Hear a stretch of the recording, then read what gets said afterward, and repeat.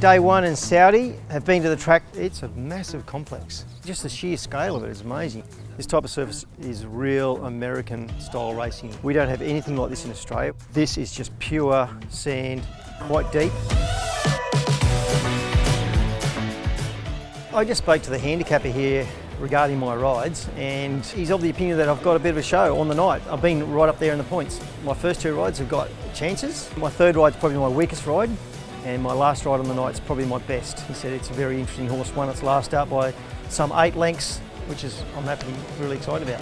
He's got a chance in the first race. He's definitely got a chance in the first race. I'll have a few quid on that. Yeah. great to see you. See. It's great to catch up with, you know, some of the friends that I haven't seen for ages, you know, French and Japanese riders and it's just such a great melting pot and yeah, it's a great time.